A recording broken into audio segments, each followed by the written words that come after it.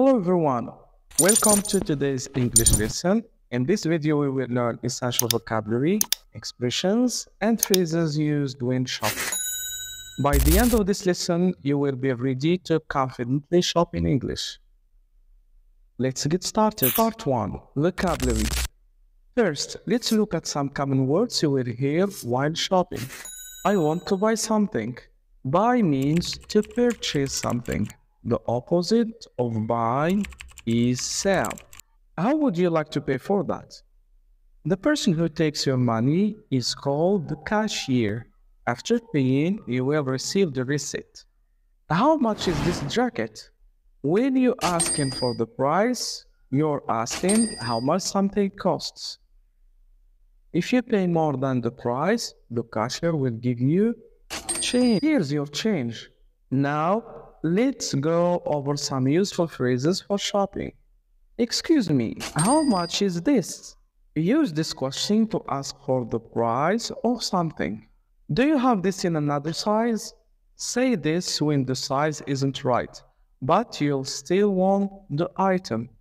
Can I try this on? Can I try this on? Use this when you want to check if clothes fit before buying. Please, where is the checkout? Ask this when you're ready to pay. Let's now explore different places where you can shop. I need some groceries. I need to go to the supermarket. A supermarket is a large store that sells food and household items. I need new shoes. I'll go to the mall. A mall has many stores when you can buy clothes, shoes, and more.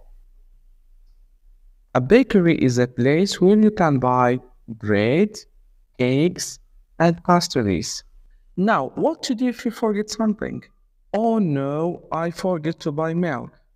When you realize you missed something, say, I forget to. I forget to. Excuse me, can I add this to my purchase? Use this phrase if you're still in the store and want to add something to your purchase. Is there a place nearby to buy some batteries? If you're early the home, you can ask if there's a store nearby that sells what you need.